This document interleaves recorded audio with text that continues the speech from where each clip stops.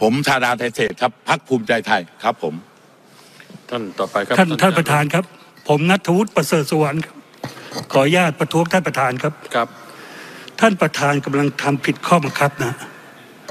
ข้อบังคับที่67เนี่ย การอภิปรายเนี่ยเขาให้สลับกัน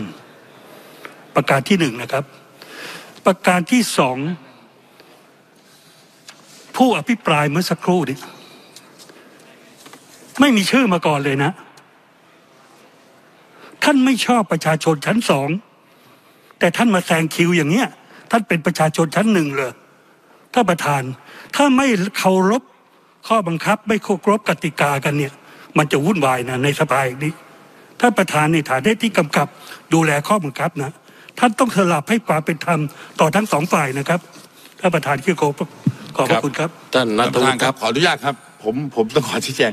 ผมเนี่ยไม่เป็นไรเขาเขาประท้วงประธาน ท่านจดาเข้าประท้วงประธานไม่เป็นไรครับ เดี๋ยวก่อนเอ่อท่านทวุฒิครับ ท่านลองดูข้อ68นะครับ แล้วผมก็สลับอยู่แล้วคือสลับข้างละสองสองท่าน เป็นอำนาจประธานอยู่แล้วนะครับ คือไม่ได้ให้ข้างเดียวตลอด ส่วนชื่อท่านชาดาเนี่ยท่านมาดูบนบัลลังก์ผมมีชื่ออยู่ นะครับ เพราะฉะนั้นผมเรียกตามรายชื่ออยู่แล้ว ด้วยความเคารพท่านประธานนะ ผมมีรายชื่อ คนที่เข้าลิสต์อยู่นะลำดับนี้เป็นใครลำดับนี้เป็นใครฝ่ายค้านฝ่ายรัฐบาล แล้วดูดีๆ แต่ท่านต้องเตือนครับ อย่าให้มีเหตุการณ์อย่างนี้เดี๋ยวๆเกิดขึ้นอีกครับ ในสภาอย่างนี้ครับขอบพระคุณครับท่านประธานครับ ผมขออนุญาตว่าผมไปเกี่ยวอะไรกับท่าน ท่านมาว่าผมในเรื่องผมอภิปราย ท่านมีปัญหาอะไร ไม่เป็นไรท่านจาดาไม่เป็นไรก็ประท้วงประธานอยู่ครับ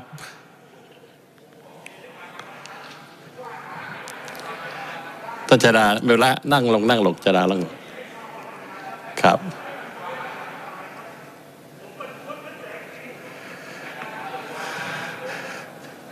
ท่านจาดา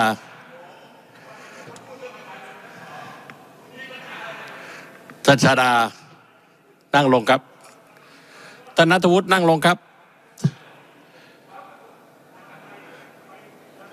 นั่งลงนะฮะถ้าไม่นั่งลงผมยืนขึ้นนะครับ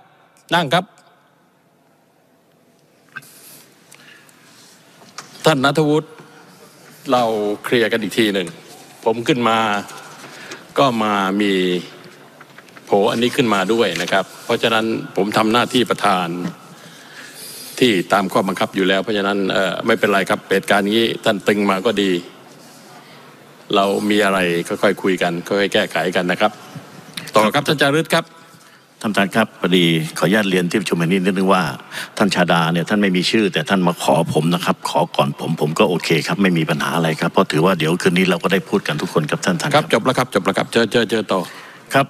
กับเรียนท่านประธานสภาที่เคารพผมจารึกศรีอ่อน สมาชิกสภาผู้แทนราษฎรจังหวัดจันทบุรีเขตสองพักพลังท้องถิ่นไทย ขออนุญาตท่านประธานนะครับ อภิปรายงบประมาณเกี่ยวกับกระทรวงคมนาคมครับท่านประธานครับ ในปี 2565 กระทรวงคมนาคมนะครับ มีงบประมาณในการใช้จ่ายจำนวน 173,000 กว่าล้านนะครับ ในปี 2566จำนวน 180,000 กว่าล้านบาทนะครับ ก็ได้ งบประมาณของกระทรวงคมนาคมเนี่ยก็ได้เพิ่มมาเล็กน้อยครับท่านประธานที่เคารพครับ แต่ในปี 2565 ครับท่านประธานที่เคารพครับ ผ่านไปยังทางหลวงชนบท ผ่านไปยังกรมทางหลวงจังหวัดจันทบุรีครับ ท่านประธาน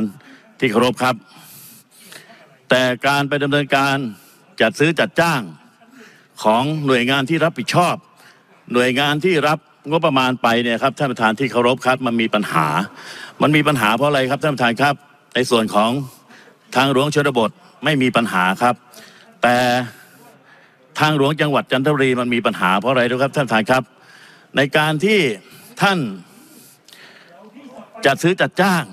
ในการ